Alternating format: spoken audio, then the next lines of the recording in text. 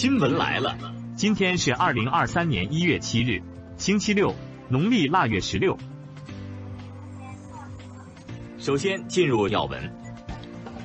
六日，国家主席习近平在人民大会堂同来华进行国事访问的土库曼斯坦总统谢尔达尔别尔德穆哈梅多夫举行会谈，两国元首宣布将中土关系提升为全面战略伙伴关系。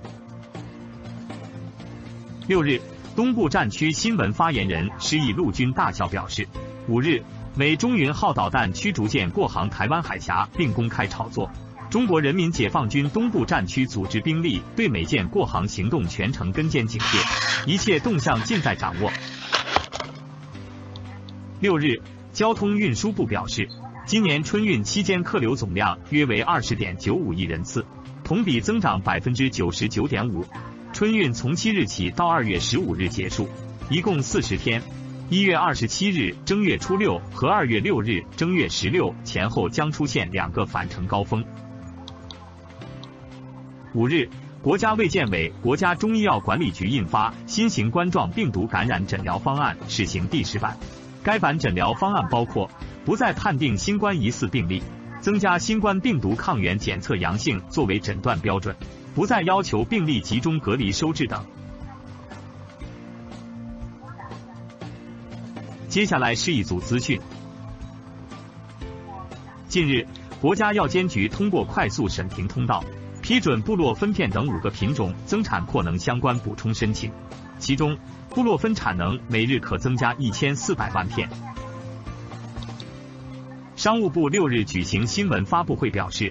随着系列政策显效发力，预计二零二三年汽车消费市场有望总体保持增长势头。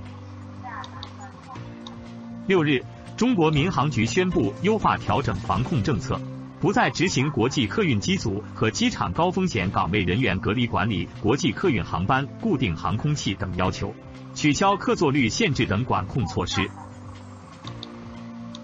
六日。北京市发布和解读北京实施一类一管措施，其中包括核酸检测实行单人单管，取消混管检测，学校、幼儿园不再开展全员核酸筛查。二月十三日，中小学如期正常开学等措施。六日，辽宁省政协原党组成员、副主席李文喜受贿案一审宣判，被告人李文喜受贿五点四亿余元，被判死刑，缓期两年执行。剥夺政治权利终身，并处没收个人全部财产。近日，重庆市人民检察院依法对云南省政协原党组成员、副主席黄毅涉嫌受贿案提起公诉。中国人民银行定于九日发行中国空间站建成金银纪念币一套，该套金银纪念币共两枚，其中金质纪念币一枚。银质纪念币一枚，均为中华人民共和国法定货币。六日，南京大屠杀幸存者郭林大离世，享年九十三岁。截至目前，南京侵华日军受害者援助协会登记在册的在世幸存者仅存四十八位。日前，我国科研人员在云南罗平县中三叠市海象地层发现一种新的种类龙科爬行动物。代表了多指节形鳍龙类最早出现的化石记录，将其命名为奇异罗平龙。日前，山西省考古研究院发布山西绛县衡水西周墓地两千零二十二号墓考古发掘资料。据考古人员推测，该墓应是西周时期一座国君级别墓葬。自八日零时起。港珠澳大桥、澳门口岸港澳旅检大厅及港澳车道将恢复为二十四小时通关，相关车道允许各类具资格的车辆通行。六日，首届中国冰壶联赛青海西宁多巴站开赛，赛事设男子团体、女子团体、混双三个项目。当地时间六日，欧盟统计局公布去年十二月欧元区通胀率，尽管有所回落。但仍达到百分之九点二。二零二二年七月至今，欧洲央行已连续四次大幅加息，共两百五十个基点，以遏制通胀。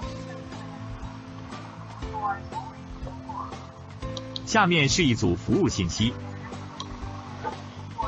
近期，社会上出现了仿冒民政部官方网站的虚假网站，民政部六日发布预警提示，民政部官网发布的通知不会附加任何收集敏感信息的链接和弹窗，网友不要随意点击来路不明的链接，以免上当受骗。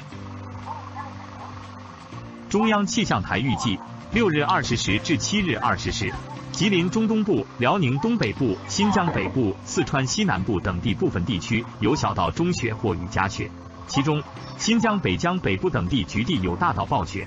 四川南部、云南西北部、海南岛东北部、台湾岛东部等地部分地区有小雨。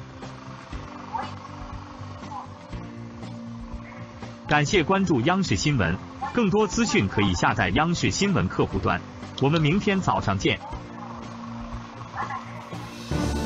党的二十大作出重大论断。新时代以来，经过不懈努力，党找到了自我革命这一跳出治乱兴衰历史周期率的第二个答案。自我进化、自我完善、自我革新、自我提高能力显著增强，管党治党宽松软状况得到根本扭转，风清气正的党内政治生态不断形成和发展。确保党永远不变质、不变色、不变味。专题片学习贯彻党的二十大对坚定不移全面从严治党、深入推进新时代党的建设新的伟大工程作出的战略部署，展现以习近平同志为核心的党中央时刻保持解决大党独有难题的清醒和坚定。持之以恒推进全面从严治党，把严的基调、严的措施、严的氛围长期坚持下去，保持永远吹冲锋号的政治定力，以彻底自我革命精神打好反腐败斗争攻坚战、持久战。专题片共分四集，分别为：第二个答案、政治监督、铁规矩。硬杠杠，永远在路上。共选取十二个案例，采访纪检监察干部、有关审查调查对象及涉案人员、干部群众一百多人，生动讲述新的历史条件下，中国共产党持之以恒推进全面从严治党，以党的自我革命引领社会革命的故事。